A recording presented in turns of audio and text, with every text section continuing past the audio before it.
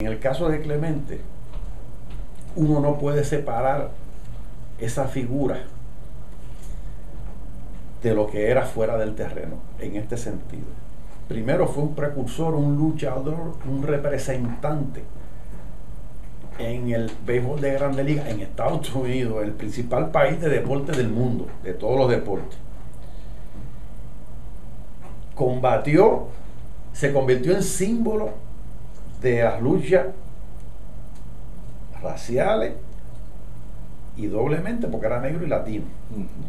Y fue precursor, fue líder en, ambas, en, en ambas líneas.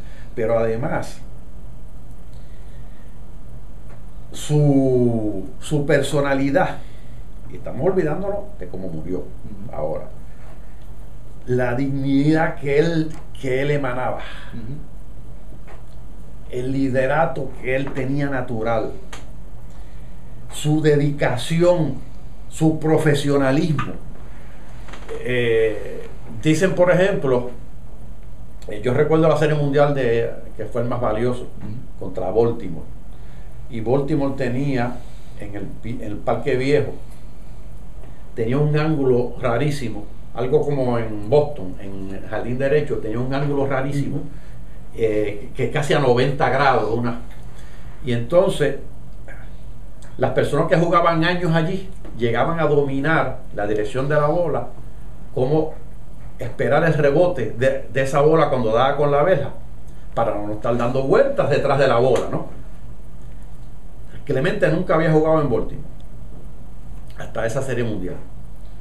Y yo recuerdo que durante la transmisión de la serie mundial, desde el primer batazo en esas circunstancias que llegó a chocar contra esa verja,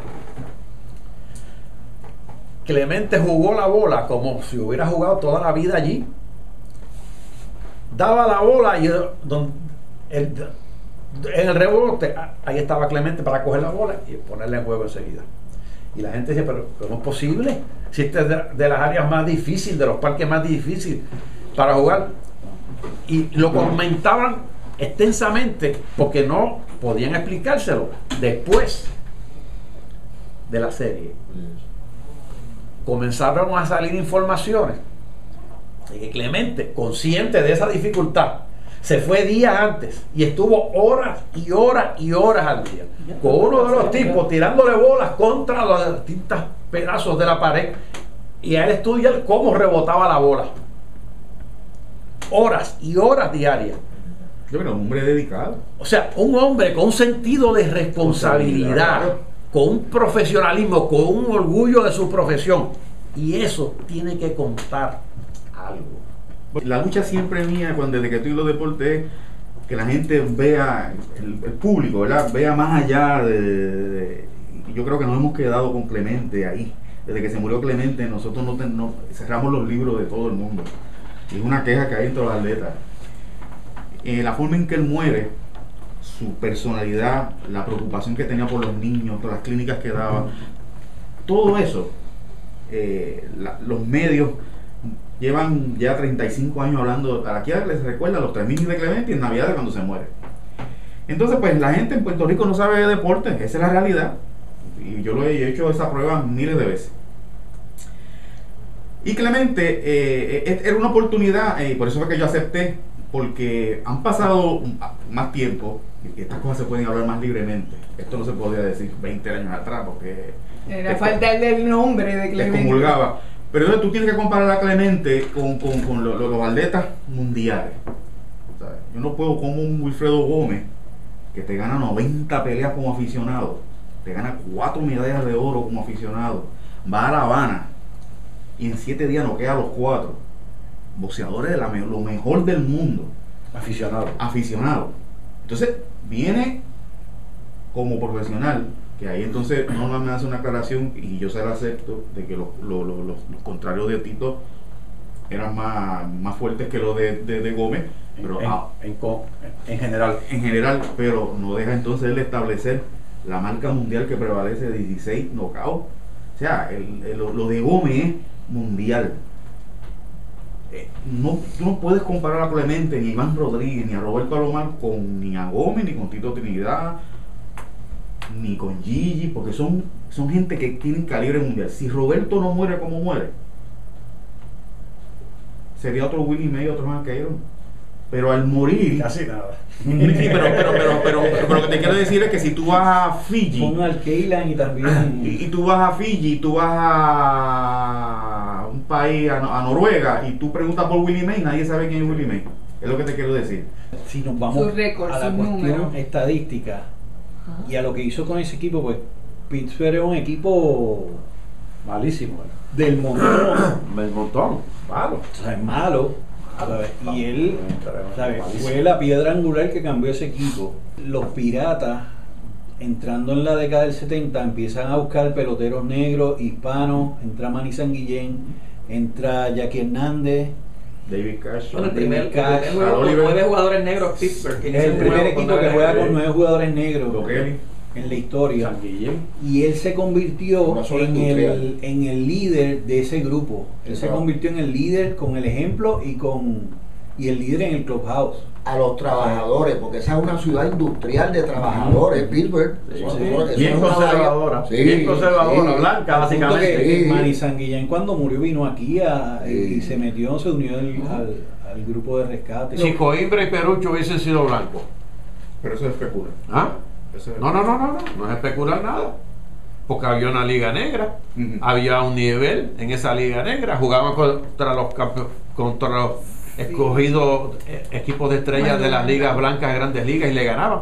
Pero fíjate, mira, mira, pero mira qué cosa interesante, Norma. Dice Millito Navarro, sí, pero una, lo, al último, me saca lo último y me dice, pero Satchel Page dijo que el mejor, el bateador que se había enfrentado era Coimbra. Y yo dije, es que Perucho siempre fue compañero de equipo de Satchel Page.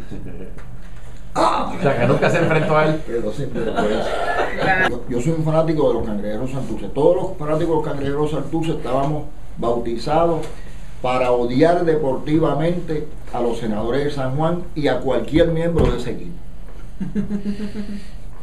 El eje de ese odio deportivo era Roberto Clemente. Si no jugábamos, nos alegrábamos, y si jugábamos, y si jugaba, y como él venía a jugar siempre, como Peruchín y demás, pues el odio era año tras año. Pero ¿qué pasa?